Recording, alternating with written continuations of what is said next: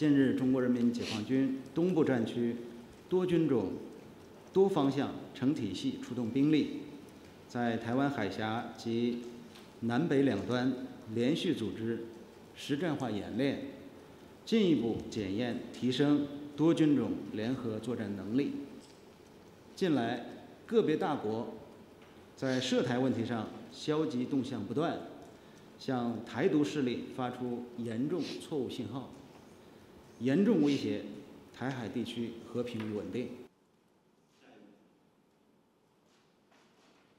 台湾是中国领土神圣不可分割的一部分。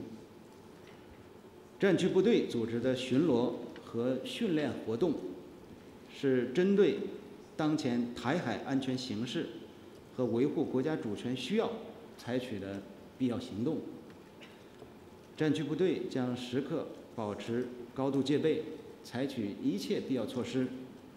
坚决回击一切制造台独、分裂国家的挑衅行为。